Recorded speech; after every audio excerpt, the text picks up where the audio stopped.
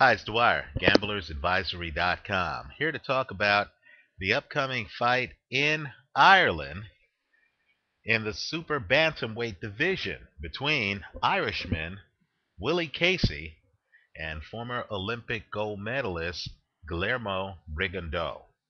Now, um, let's talk about counterpunching because Rigondeaux is a counterpuncher's counterpuncher, right?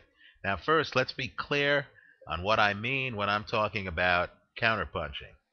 Let's say I'm fighting Manny Pacquiao, right? And uh, I'm right-handed. Pacquiao is left-handed. Let's say I have my hands up to protect myself from Manny Pacquiao, who is right in front of me, facing me, right? Now I have my hands up, so theoretically Pacquiao can't hit me on my left side or on my right side, right? While I'm protecting myself.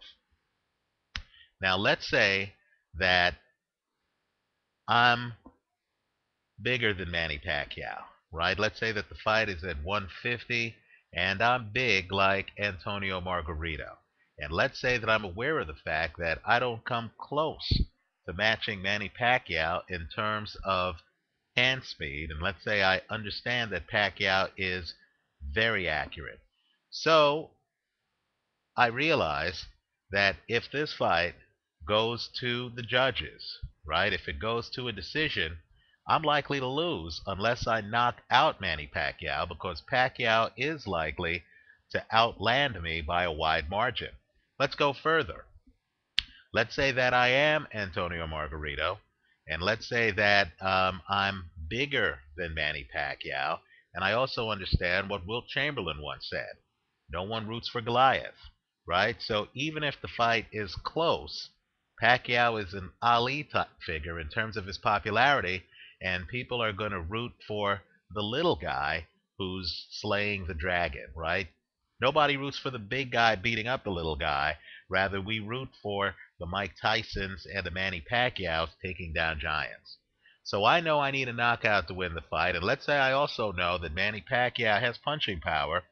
So my best chance at throwing punches with the most force is early in the fight, right? Not later in the fight when I'm all bruised up, I got a mouse under my eye, Manny Pacquiao has hit me in the ribs a few times, I'm sore, I can't get torque. No, I want to throw heavy artillery when I am healthy at the beginning of the fight, right? I can't wait five or six rounds because by then, you know, I might be banged up. And of course, one of Pacquiao's strengths is he has great stamina. So, Pacquiao and I are looking at each other.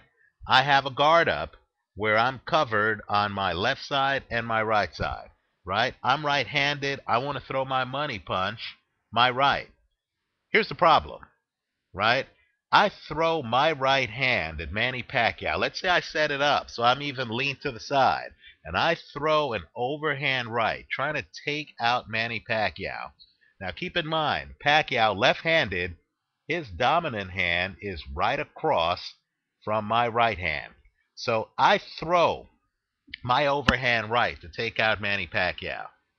If I miss the punch, if Manny Pacquiao has me timed like he has everyone timed, and if, as I'm throwing the punch, let's say Pacquiao's focused on my shoulder, he sees my shoulder flinch, he knows I'm throwing the punch. As I'm throwing the punch, let's say Manny Pacquiao takes a step back, right, and the punch misses. Here's the problem I have I'm now naked on my right side, right? All of this is open for Manny Pacquiao. So Manny Pacquiao can literally counter my punch. In other words, he can now throw a punch at me, my dominant hand's extended, right? So he doesn't have to worry about my right hand.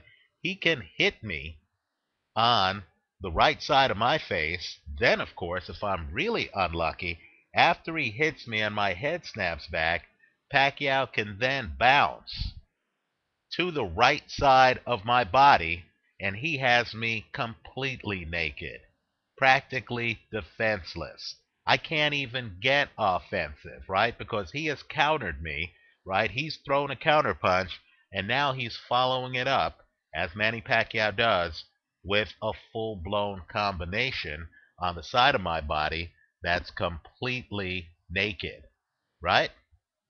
So, what happens when guys fight counterpunchers is, um, you know, guys are aware of the fact they're scared to throw that right hand because guys are aware of the fact that they're going to be countered. By the way, Manny Pacquiao is a switch. He can lead, and he also counters um, slower opponents. You saw him countering Antonio Margarito in their fight all night long. There is a way to beat a pure counterpuncher like Guillermo Rigondeaux. What if I have my two hands up? And I know Manny is waiting to counter me. In fact, forget Manny because he's a switch. He could lead, he can counter. Let's say I'm facing Guillermo Rigondeaux, right? The Olympic gold medalist. Let's say I know that Rigondeaux is waiting for me to throw a punch that he can counter and I'm protected. What's my way out of the box if I know he's waiting for me to throw a punch? The answer is to not throw a punch right? Um, you know, skillful guys, and you really have to be comfortable with yourself, and you really have to be prepared to get booed by the crowd who doesn't understand your strategy. Skillful guys will fight counterpunchers, and what they'll do is they'll force the counterpuncher to take the lead. In other words, I'm protected in front of Guillermo Rigondeaux. I have to force him to get restless and to start to lead then you know what? If I know what I'm doing, then I can counter the counter puncher, right? Or if Rigondeaux doesn't know how to lead, and if he's really more of a pure counter puncher, right? Um, which I believe he is, then you're going to have a situation like you had in his last fight against Cordoba. By the way, in that fight, Rigondeaux got knocked down in the fight. Also, while he won the fight, it was by split decision. You're going to have situations like that last fight against Cordoba where Rigondeaux threw hardly any punches in many of the rounds because Cordoba wasn't throwing punches back. So desperate are counterpunchers to get you to throw punches at them that if you look at one of my favorite fights, the uh, fight in the 70s between Jimmy Young and Ali, you're going to see that Ali, who was a counterpuncher, is so frustrated by Jimmy Young forcing him to take the lead that at one point in that fight, Ali, I think it's the third or fourth round, Ali literally walks over to the side of the ropes and begs Jimmy Young to come over to the side of the ropes and throw punches on him. Right? He couldn't handle Jimmy Young being in the middle of the ring, hardly throwing any punches right? If I thought Willie Casey was the kind of guy who could force Guillermo Rigondeaux to take the lead and then could counter him, or could pull a Timothy Bradley and could literally walk up to Rigondeaux and get so close to him that when he starts throwing punches, the punches are short and are close to impossible to counter, if I thought Willie Casey was that kind of fighter, I would take him in this fight. Unfortunately, I can't. Even though he's an Irishman fighting in Ireland, and even though my last name's Dwyer, granted, I'm Jamaican, but I think there's some Irish blood somewhere along the line in my uh, family tree. Um, I'm taking Guillermo Rigondeaux in this fight. I believe Willie Casey is a straight ahead brawler I wasn't that impressed with his victory over Hyland to win the European title. Quite frankly, I thought that uh, that fight was stopped prematurely. I also thought that Hyland was keeping Casey at the end of a jab. Casey looks like a hooker. He looks like um, Adrian Diaconu, right? The light heavyweight. He looks like a hooker. His punches are a little bit wide. He's exactly the kind of fighter that Rigondeaux will be able to have a field day with.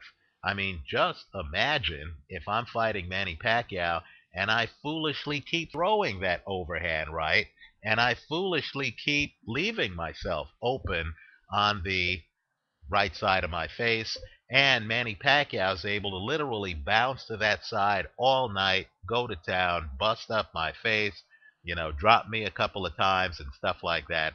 That's what I expect to happen in this fight. Don't be fooled by the records. I know Rigon, Rigondeaux only has seven pro fights. Rigondeaux is one of the most decorated amateurs in history. Go back and look at his history. Also, he's only 30 years old, although he's had hundreds of fights, literally. Understand they're of the three round variety. He doesn't have the tread on the tire that guys fighting 10 and 12 round wars have. I'm expecting Rigondeaux to use that lateral movement I was talking about Manny Pacquiao using.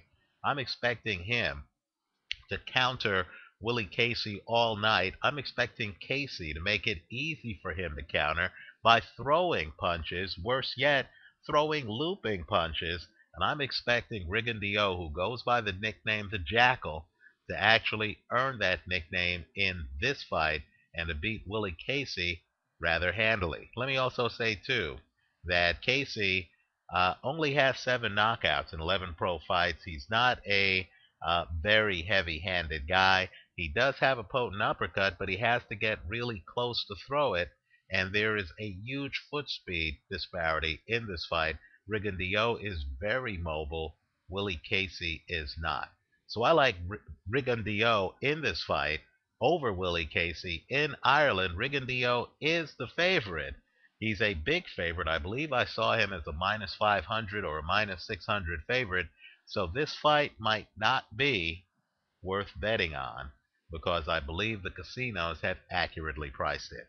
But uh, if you are inclined to bet, then I would take Rigondeaux to win the fight, straddled against Casey by KO I simply do not see, even with um, Irish judges in Ireland with an Irish fighter, um, I just do not see Willie Casey being able to uh, get a decision over Guillermo Rigondeaux, who really is a gifted counterpuncher.